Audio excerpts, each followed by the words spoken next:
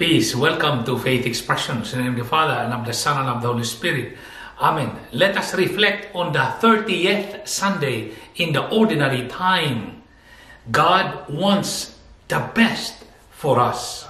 The narrative of the first reading gives us God's action of restoration, God's will of gathering again His people. That's why at the very beginning of the first reading says, Shout for joy, exult at the head of nations, sing praise. You see, these are statements of joy. These are statements describing the consolation, the restoration, the blessings of God upon His people. The gospel is a fulfillment to the message of the first reading in a very personal character.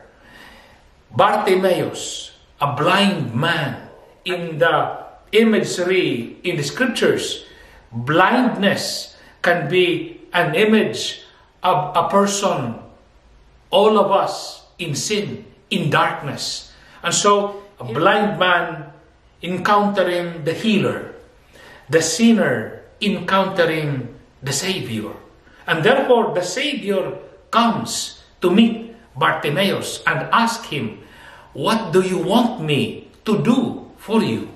I want us to capture this question of Jesus in a very personal way to you and I. Jesus is asking us, What do you want me to do for you? Let us imitate the disposition and the humility and contrition of Bartimaeus. Lord, that I may see. He knows his blindness.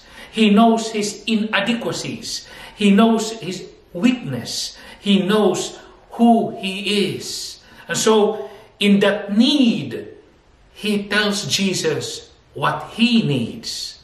Lord, that I may see. So today, in this 30th Sunday ordinary time, I would like us, you and I, in the Mass, we can say, Lord, I have many blindnesses.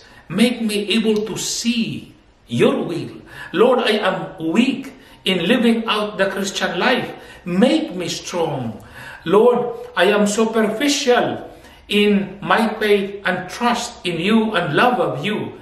Therefore, make me be able to learn deeper trust and be able to relate to you in a way that I truly give in into your divine life. Lord, I have many problems at this time.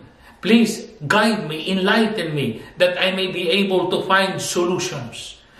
Whatever you have at this very moment, this is the time, this is the opportunity to tell the Lord.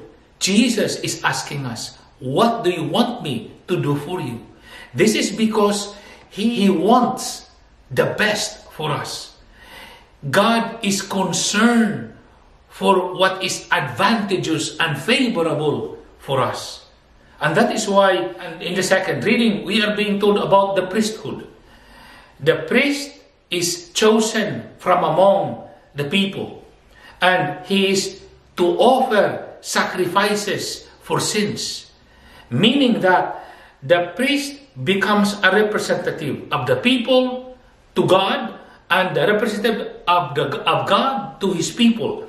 Therefore, the priest is bearer of good things, of graces from God to us. And that is why we are to see to it that in relation to the Mother Church, in relation to the priesthood, we are being assured of God's blessings continually overflowing to our lives, to the life of the church, to the life of the parish. And that is why the very celebration of the sacraments, the, the very prayers that we do in church, and the prayers that the ordained ministers do, they are for our benefit, for the benefit of the life of the church. Because with all that God does, they are for our advantage, for our benefit, for our interest. And so for this 30th Sunday ordinary time, I want us to consider two things in response to the Word of God. First of all, we have to develop and build up more our trust in God, our faith in God. Build up more our seeking of Jesus Christ and trying to listen to the Word of God, trying to put into practice His teachings.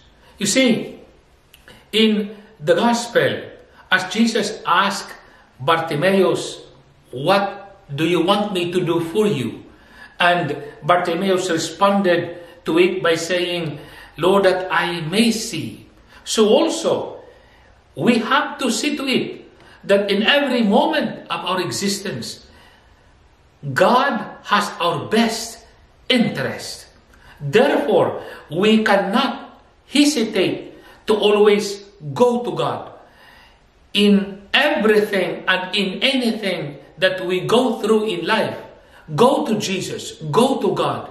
In good times, be grateful. In bad times, be trustful. In difficult times, be faithful because the Lord is always there. All our troubles and sufferings, when we bear them, when we reflect on them, when we go through them, God is increasing us rather than diminishing us. That is why keep trusting in God, keep believing in God, keep being faithful to God because God has our best interest. The second thing we have to do is like Bartimaeus, after being healed, he did not go on his way. He followed Jesus on the way. Remember, Jesus says, I am the way, the truth, and the life. It means Bartimaeus lived the life of Christ. It means Bartimaeus put into practice the teachings of the Lord. It means he practiced, he lived out his faith in Jesus. To you and I, into our time and context, be reminded that the fullness of our Christian life is when we have become another Christ in our mentality, in our behavior, in our words, in our relationship with others. And therefore, let us persevere in making our lives indeed Christ like.